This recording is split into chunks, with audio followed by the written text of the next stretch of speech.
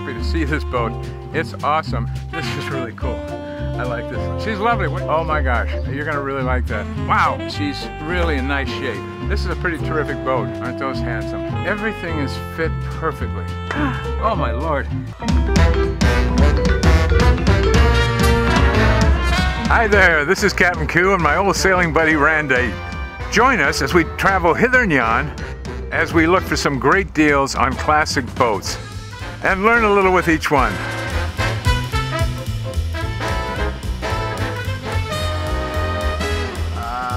I can't, I can't tell where the pants end and the forklift. Well, I was just begins. noticing this. I should get one of these or at least find out what the color chip is for this thing. Wouldn't that look great on the Jag? Wow, what a find. Uh, we have a John Alden uh, design shop boat here. Ooh. John Alden was born in 1884 and then he died uh, in uh, 1962. So he kind of missed, uh, you know, the big resurgence in fiberglass boats and new design. He was born in Troy, New York, and uh, then his family moved to uh, and he started sailing down there. And then one day his dad took him up to Gloucester and showed him some of the fishing fleet there. And he really got the bug about sailboats and about fishing schooners. He wanted to go to Naval Architecture School, so he went to MIT and then uh, did apprentice work with Starling Burgess, famous J-boats uh, designer. And uh, he liked the schooner uh, style of boat. He liked good heavy seagoing boats. He liked Two masts. he loves two masts. He went off and, and uh, took one of his designs, and they actually won the uh, the Bermuda race, I think in 1928 or so.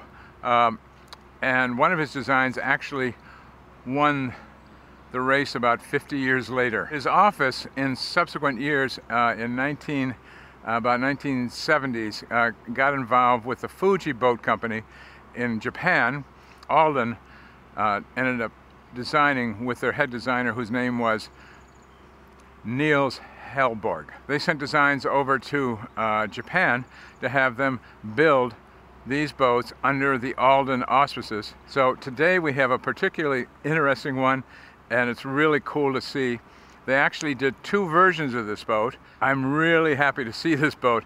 It's awesome, and you're you're just not going to believe the amount of room. But let's go take a look at this puppy. Take a look back here at Gypsy, a great name for a boat that's going to go sail. A couple of nods to uh, the uh, current design of thinking. Here, this is still uh, pretty deep forward, very full bilges on each side, so you're going to have a lot of room to store stuff. And I think she weighs in around uh, 30,000 pounds with about 8,700 pounds of ballast. But she's cut away here. You'll see the blocks supporting the forward end of the keel. Yep. Uh, there's three or four of them right there. And if you notice down here, there's just one.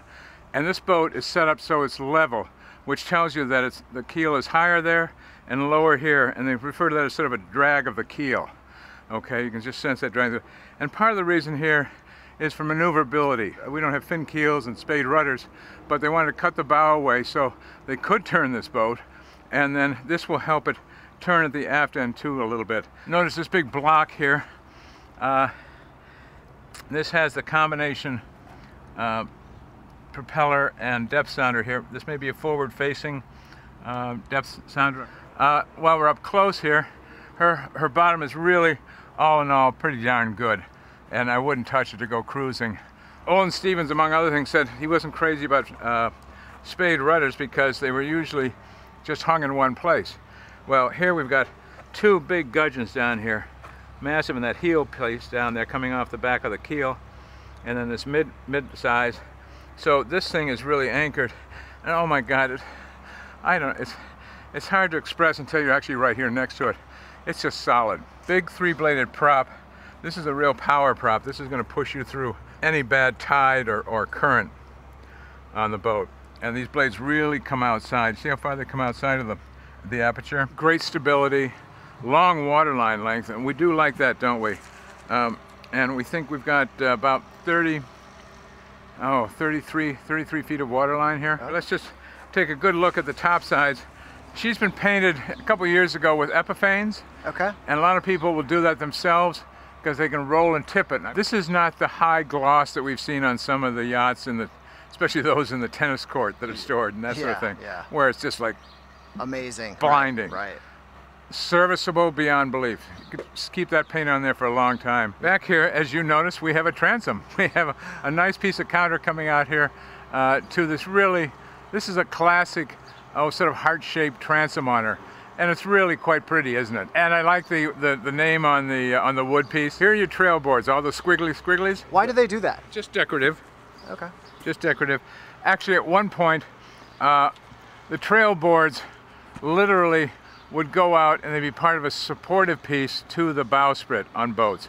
And you'll see them actually, I don't know how I can show you this, but they'd kind of come out like this and like, like so, and the bowsprit would sit in between them. Okay. Uh, they were part of the, they themselves were not the uh, supporting effort, but they were decorative of that long piece sticking on either side. There's a massive, massive bowsprit up there. I could sleep out there. We got a nice bobstay here too, don't we? And the other thing that's re remarkable about this boat, let's just not miss the lovely clipper bow. Oh yeah. This clipper bow is just a classic, uh, and there's a flare out here to the bow that will help keep the boat dry. So when she drives into the water, that flare is just gonna part the waters and throw it right out to the side. There we have a bow thruster on here, Yep. and That's handy that's for a big you, boat. you like might this. say that sort of makes up for fin keels and spade rudders. I think we should go topside. What do you say? Oh, I think we definitely should. Yeah. Here we go. We love the subscribers. Yeah, more subscribers means that we're going to get recommended to more people, and so that helps spread the love and spread the word about old classic boats and what we're doing. So every little bit helps. Thanks again. Hey, Randy. Yeah. Come on up, pal. All right. You might have noticed the, the toe rail on the boat, beautifully varnished, but needs to be revarnished. This almost looks like somebody's put a coat over the, the varnish. That means that moisture's gotten underneath the, the varnish coating. And on some of the rails, there's bare spots. So we're, we're seeing a little deferred maintenance so far, but it doesn't bother me one bit. You know what we like here, first of all? Two masts. Two masts. Two all right. masts, I yeah. guessed it. We love a ketch, and I really do love a ketch because I can just hoist that mizzen up here, and I can roll out a staysail or a uh, an inner staysail, storm staysail, uh, and just cruise along without doing any work at all. One thing you'll notice about this boat, Randy, is this wheel. Uh, they used it on the schooners, and I think part of the reason they did it was that it was very simple. And it was a direct, solid drive. It did give you feedback. It's a little funny, but you get used to it. You can also sit to one side or the other and still steer the boat quite handily. And this boat has a marvelous dodger, by the way. Look at the, look at the height and size of that. As we said, you're gonna always can get some spray off the bow, though not as much on this boat as some of the more modern boats. But any spray that does come over, it's not going to find its way to the cockpit. Also, too, you see behind me a bimini that's folded up right now. Yep. This boat is, is set up so that you can enclose the entire cockpit. Deep coamings, again. Uh, we have a, a bridge deck here, so we're going to be pretty safe in case of a knockdown. Just one or two small washboards for the companionway will shut that right up. Uh, we have two Lewmar uh, 55s, two-speed uh, self-tailing winches. This little window is has got some uh, controls to it. As I think that might be your autopilot controls. Look at the massiveness of these castings. Oh, the, oh, this is the autopilot right here. So the autopilot, it's a Raymarine autopilot, and it's got a chain drive that goes around the shaft. You see that? Yep. So when the autopilot engages, it's going to move that chain. The lazarette is huge. We can get right down to the probably the uh, any stuffing boxes down there of any sort. Uh, now this is a very serious fender board there, Ooh, not that's it? That's very pretty for a fender Yeah. board. He's also got back here. Look at this, a little generator. Here's something else left over from the old days. This is an Edson set of davits here. They're cast aluminum. I think my father may have had some of those on his boat back in 1949. This is nice, the old old-fashioned style boarding ladder, and it's set right near the stern. And when you want to get somebody back on board, this is really good. Now, Randy, you're required to have a ship's bell uh, at all times. And you don't have to ring it for the time of day every day, but it is a safety factor if you're in a fog. There's a number of times that you ring this. I can't forget them for what size boat you are, but it might be, be something like fixed gooseneck for the mizzen, a nice height here. You know the mizzen boom is going to be oh my gosh, almost a foot over your head right here. We've got a lot of Raymarine electronics on here. They're listed in the inventory on the boat, and there's an array of, of uh, additional probably uh, sail and speed and depth down here as well, right on this little lower bulkhead in front of the uh, bridge deck. This is a pretty terrific boat. I'm gonna head forward. You wanna come yeah, take a look? let's go check it out.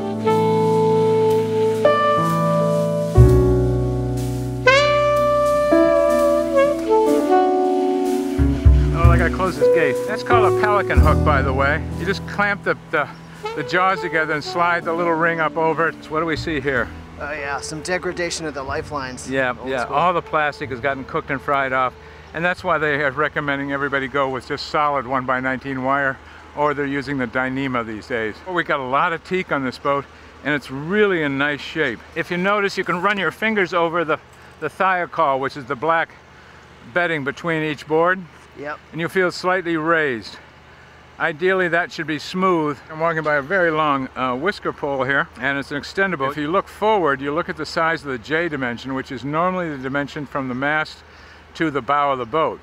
In this case, it goes about four or five feet further. What that's telling me is that you're gonna have a really big jib to wing out. We're going by a pin rail here. This is left from the old days. If you needed anything quickly on those lines, now these are just fenders or bumpers, whatever we want to do. Uh, you didn't have to undo the whole thing.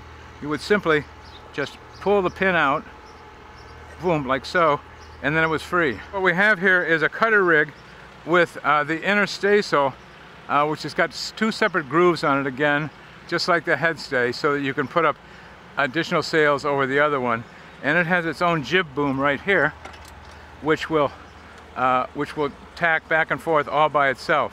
There's a track on the deck down right behind the hatch. If you wanted to go sailing, you could hoist just the mizzen and this guy and don't touch anything, just tack back and forth. We have a huge Maxwell uh, 2000 windlass up here with a giant rope drum on it on this side. Here's your gypsy on this side uh, and a place to hand crank it. It has a, a back and forth uh, drive on it so you can pull up to your anchorage from the cockpit with a hand controller and let the anchor down. Would you like I to don't go? at love that? those lifelines, but Well, I would not hold on to the lifelines, but I want to see if you fit out there. This There is uh, sort of like you putting me in the V berth, right? yeah, that seems fair. Now, I'm going to stand over here, so it looks like you're really far away, right? I am. Randy! How do you like it out there? It's amazing. And you know, with those little uh, perforations in the teak, uh, when you hit a wave, It's a bidet. It's what a fun boat. Here we are at the mast. They've got a little tiny spinnaker track on the front of the mast. You see, it's not very tall at all. Yeah. Uh, you're not going to be racing, so you don't need the full length of a spinnaker pole track to reset your spinnaker. Can you hear that? Yep. That's my favorite sound.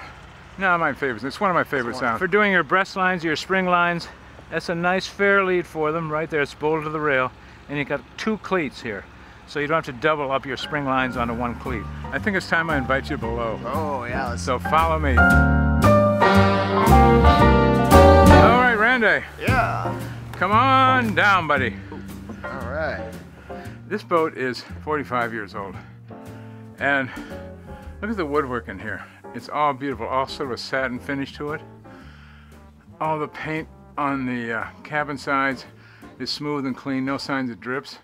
And I know you like these uh, deck beams Yeah. above us here. Aren't those handsome? Beautiful. And do we feel like we're in an old time ship maybe a little bit? We have a, a, a pop up table here, not pop up, excuse me, but the, the leaves fold up and it's really good size. Everything is fit perfectly. I don't know how else to put it. It's just smooth, so smooth. Look at, look, look, one finger, I'm opening this thing up. And, oh, I've got a nice chain plate here. You want to take a look at this? Because these have all been addressed on the boat.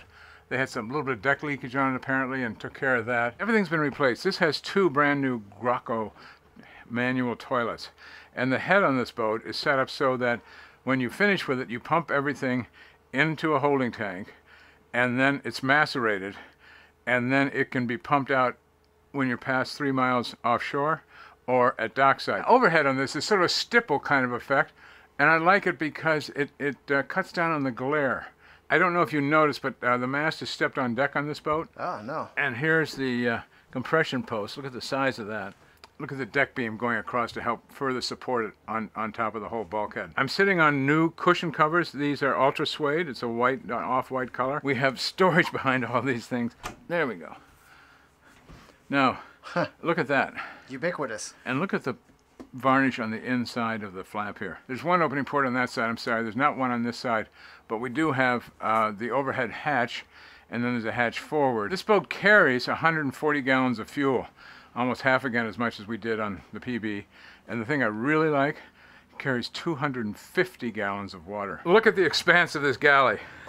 Yeah, it's like 10 this feet. Plateware and everything all has its own specified holders for it. These things aren't going to come out. Let's open this puppy up for a minute. Man knows what to drink on this boat, but look how, look how deep that is. This is apparently keel cooled somehow uh, refrigeration, 12 volt. So what does that mean, keel cooled?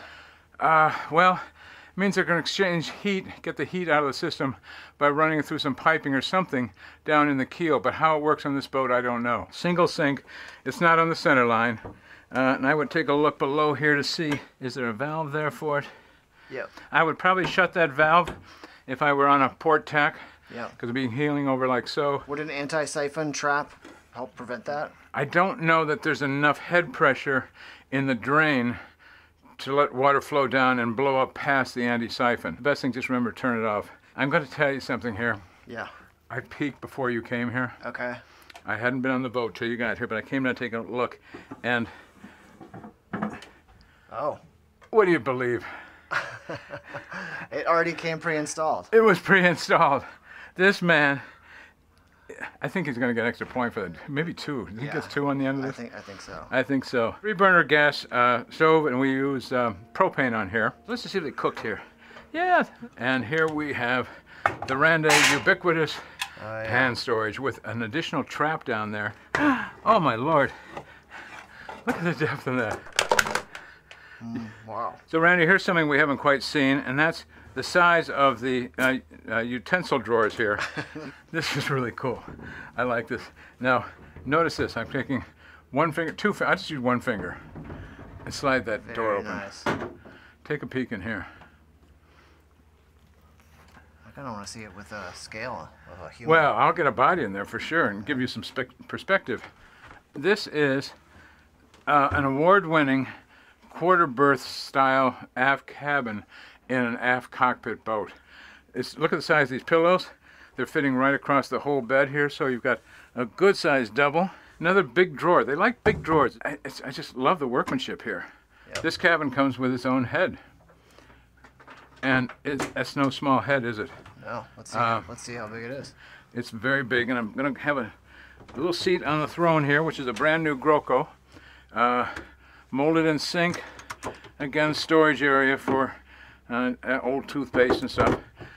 Uh, I've got a handheld shower. Nice big shower grate down here. Uh, nice size mirror. And right here, they've got a curtain that's going to slide right around here, and it's going to keep water from hitting the door or hit, going through the vents. I love this cabin. And I'm kind of noticing something else. It's kind of a twofer, A twofer? isn't it? What is this door? No, this door goes to. You'll have to. Oh, Randy. Hold on a second. Yeah. Come in. This is what I call a hanging locker. look, look at the size of this hanging locker. Wow. This is unbelievable. Who who has a hanging locker with full headroom? It just doesn't happen. I think it's a walk-in closet. It is. A, I- in my case, it was a step-in closet, but it's fantastic. Randy, Yeah. I promised you an engine room, right? Yep. You're not going to believe this one either. This is phenomenal. They've got a little companionway here. We can just lift right up, and you, you know, it gets hooked up uh, in a little sky hook there. Yeah. Well, this is all a new electronic panel here, and there's been a whole lot of new wiring done on the boat as well. I want you to take a look down in this engine room, and I'll get out of your way as best I can. All right. The whole engine room has been soundproofed, and you have to do a little bit of a limbo here. Yep. But there goes Randy, and he's sitting straddling a, a Yanmar 4, 4JH4, I think it is, something like that. Yep. And that looks sort of sparkly, doesn't it? It's very sparkly. Very sparkly. Definite, very sparkly. Very sparkly. Look at the water intake by your right knee, and you can probably get to everything else there too. Now this engine is running on a V drive. Do you notice that? I can't see it from here, but Well, you don't see a shaft where you are, do you? I don't. That's because the shaft turns around at the front end of this engine and then goes back down underneath it and then re- changes the direction of the shaft and goes and pushes that great big propeller. I think I'm looking down into the bilge and there might be a, just a tiny skim of water down there, but the motor engine, look at the engine mounts on this thing. That post right beside you there, that's the compression post, by the way, for the mizzen mast. That guy, just so you It's know right what that here. is. Well, you better get out of there. Come on out. We got to Okay. look at some other things. We talked about the head system on here. What we've also did, we pulled up these floorboards to just take a look down underneath the cabinetry, see what it looks like. And in general, it's just spick and span like new. Uh, I would also add that Yes. these floorboards came up better than any floorboards we've ever. They came up, they were perfectly fit so that they would stay in place if the boat's heeling. Look at that bilge. It's all been painted and coated. It's not pretty, but it's clean. First things first, I could, if you wanted to, I could climb in there. Again, here we have a really nice big head with shower. And Oh, we have a twofer we have a again. twofer. Right. But this is one of the bigger heads, isn't it? 45 footer. Here's the shower head right here, and it has a little curtain to pull around to keep the water from, you know, trailing out through the doors. And look at the nice big teak grate. That's really large size. And I'll give you a sense of scale here. We'll put the cabin on the on the throne, uh, and uh, that I've got a little lock on that door, and I've got a little lock on the other door, so I can have privacy. I got the hand pump right beside me. It's Got a tiny little sink there. Well, you just gotta put your teeth stuff in here, you know. Storage. Uh, you can see where the uh, bulkheads have been have been uh, tied into the hull here. I'm gonna say goodbye to you here, and as they say, Sayonara. sayonara. Until we meet again. I'm stepping out. Look at the size of this. I mean, just there's how big is that? Yeah. It's seven- giant seven feet, bigness. Yeah. I mean, really big. You could put the whole family up here, get all the kids up here, and they'd have a hatch for, for fresh air, which we'd like to have in here. And there's a couple of opening ports. Look at this nice little hanging locker here. See that little touch down there at the bottom? This little piece right here. Instead of just throwing your boots in there and having them fall out every time you open the door, Yeah. there's a little boot catcher. Randy, what do you think? If I do the engine room, Okay. There we go. Ooh, I was going to take my shoes up, but I'm not going to. Eh, Just because they're really clean today. that's a lie. I'm just touching my heels. That's a lie. I'm hardly touching this. Randy, I'm in. I'm in, buddy. And and with a pillow. This might be my boat. I am going to uh, shut this multi-purpose door. What's the door? It's part of the hanging locker. Oh, is that beautiful? Well, listen. Uh, I guess the phrase in Japan is sayonara. Is that correct? That is correct. So sayonara, pal, Sayonara. and uh, don't bother me anymore. no.